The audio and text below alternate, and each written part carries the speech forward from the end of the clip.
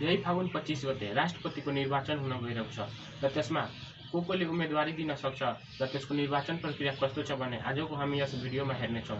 त्यसमा को कोले उम्मेदवारी दिन सक्छ भने कुनै पनि व्यक्तिले उम्मेदवारी दिन सक्छ र त्यसनिर वंशजको नागरिकता हुनु पर्यो र त्यसको उमेर पैँतालिस वर्षभन्दा बढीको हुनु पर्यो भने मात्र उम्मेदवारी दिन सक्छ।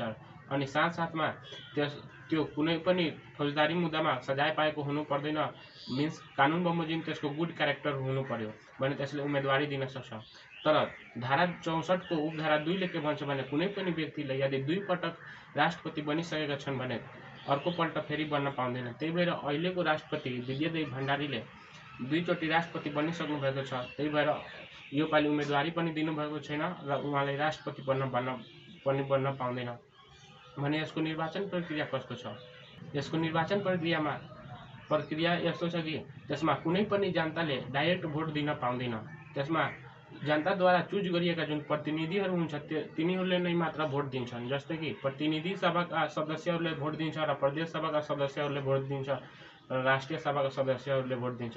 राष्ट्रिय सभा र प्रतिनिधि सभा मिलेर सङ्घीय संसदमा छ र तिनीहरूको टोटल मेम्बर कति छन् भने तिन सौ चौतिसवटा मेम्बर छन्।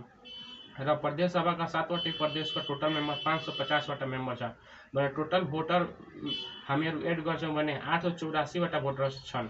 तर अहिलेको निर्वाचन आयोगको रिपोर्ट अनुसार इलेक्ट्रोल कलेजमा मात्र आठ सय एकासीजना छन्। किनभने सङ्घीय संसदको तिनवटा मेंबर कम छ। तिन, दुईवटा दुईवटा मेंबर सस्पेन्ड छन् भने एउटा मृत्यु छ।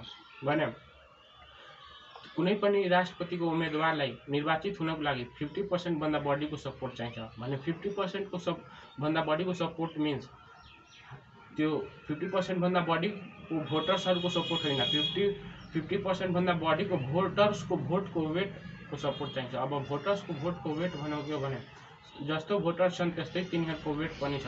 अब भोटर्सको वेटलाई सिम्पल बुझ्दा पोइन्टमा बुझाउँ। जस्तै कि जति जस्तो भोटर्स छन् जस्तै सदस्य छन् प्रतिनिधि सभाका र प्रदेश प्रदेश सभाका त्यस्तै नै तिनीहरूले पोइन्ट पनि कार्य गरेका छन्। जस्तै कि सङ्घीय संसदका एउटा मेम्बरले एउटा मेम्बरले सेभेन्टी नाइन पोइन्ट कार्य गरेका छन् भने प्रदेश सभाका एउटा मेम्बरले फोर्टी एट पोइन्ट कार्य गरेका छन्।